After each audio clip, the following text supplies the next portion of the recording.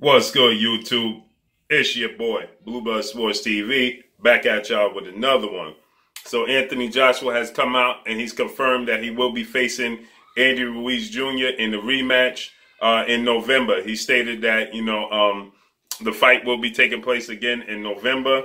Uh, the location still has not been settled upon. Uh, he will not be changing trainers. Uh, Rob McCracken will definitely still be his trainer.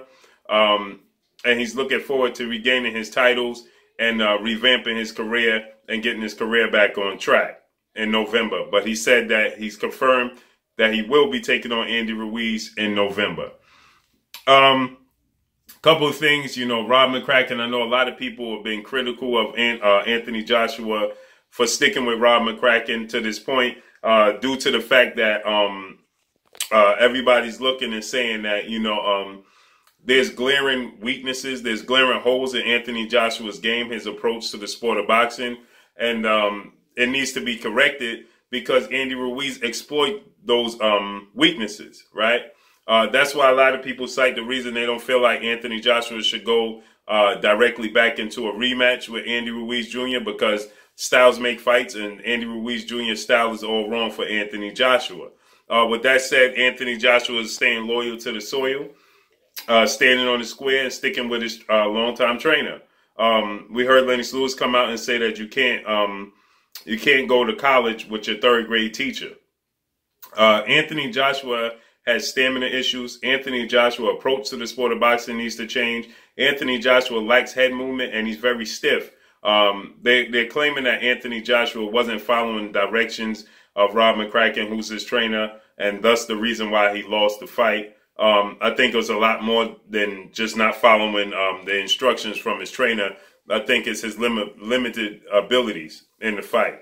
I think that in the rematch, I believe that Andy Ruiz uh, Jr. will exploit those same flaws uh, in November because I don't I don't believe that Anthony Joshua and Rob McCracken understand what they did wrong, what the problem was. Um, with that said, would I be surprised that Anthony Joshua won the rematch? Absolutely not. Is Anthony Joshua going to be favorite in the rematch? Absolutely, he is. Um, I'm expecting this fight to take place in the States. I think that at this point in time, um, Eddie Hearn, Matchroom CEO and promoter, who's the longtime promoter, Anthony Joshua, is trying to convince Anthony Joshua to have the fight take place over in the UK. But I truly believe Anthony Joshua, deep down in his soul, in his heart, he really wants to have this fight back in the States. Uh, he wants to right the wrong. Who could blame him? That's the that's that's showing the heart of a competitor right? You want to go back to the site and fix it. You don't want to have advantages. You just want to go back to the site and right the wrong. And that's what Anthony Joshua seems to be wanting to do.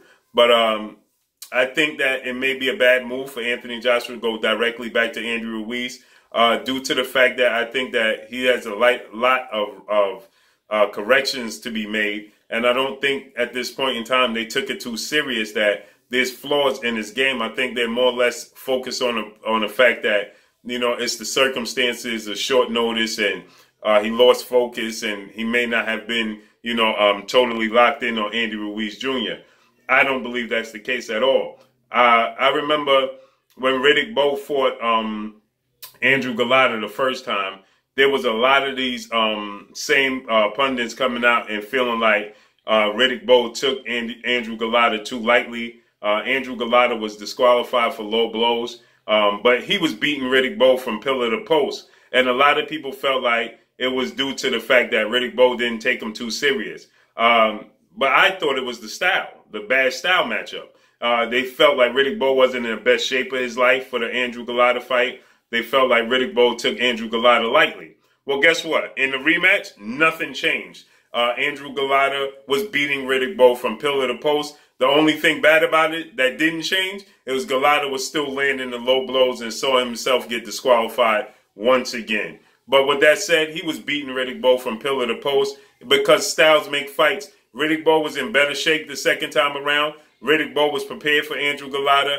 Riddick Bowe just didn't have uh, what it took to beat Andrew Golota. Actually, Andrew Golota just had Riddick Bowe's number. And I think that might be the case here with Anthony Joshua. I think Anthony Joshua uh, Andy Ruiz may have Anthony Joshua's number, and I think styles make fights, and I think that they should take a little bit more time off and prepare for Anthony jo- uh, Andy Ruiz Jr. more um, uh, um, seriously. But uh, let's see how this all plays out because the fight will be taking place in November. Uh, site and location will be uh, addressed um, and announced soon. But that's all I got, man. Drop a comment in the comment section. Let me know what y'all think. Y'all already know what it is. It's your boy Blue, Blue Blood Sports TV. Hate, like, comment, and subscribe. You haven't subscribed? Hit the subscribe button, hit the like button, hit the bell icon to get all the new notifications. Follow me on Instagram at Blue Blood Sports TV, all one word. Y'all already know what it is. Shouts out to the entire LDBC. Shouts out to New Media. Shouts out to Black Media Row. Make sure you like and share these videos. Anthony Joshua has confirmed he will be rematching Andy Ruiz Jr. The month is November. That's all I got for y'all. Peace.